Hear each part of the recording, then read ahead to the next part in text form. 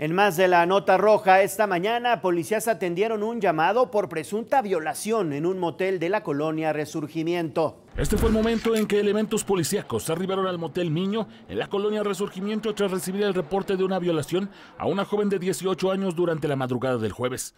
De acuerdo a trabajadores del lugar, la pareja ingresó en una motocicleta alrededor de las 0.30 horas. Se venía ella en la moto, venía inclusive agarrada de la cintura del joven, no sé quién sea, sin embargo, algo pasó que hizo que el varón saliera primero y dejara a la mujer dentro del cuarto. Y bueno, la versión que me dan es que efectivamente la señorita se queda dentro de la habitación y el joven sale.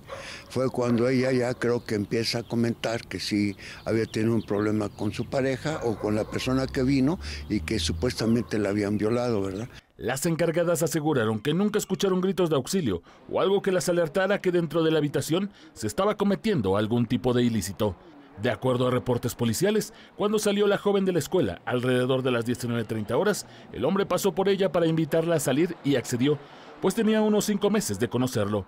Ingresaron a un botanero y tras salir del lugar para llevarla a su casa, este se desvió de rumbo y la amenazó de no pedir ayuda si no quería pasarla mal.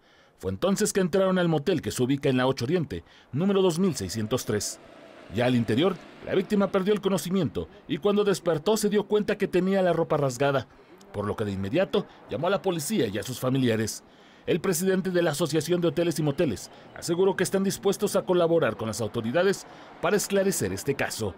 Ahora bien, nosotros lo único que tenemos que hacer es dar una atención esmerada para dar seguridad a los que vienen, pero no podemos saber qué es lo que pasa dentro de la habitación, ¿verdad? Porque es un lugar privado, es una extensión ya del hogar.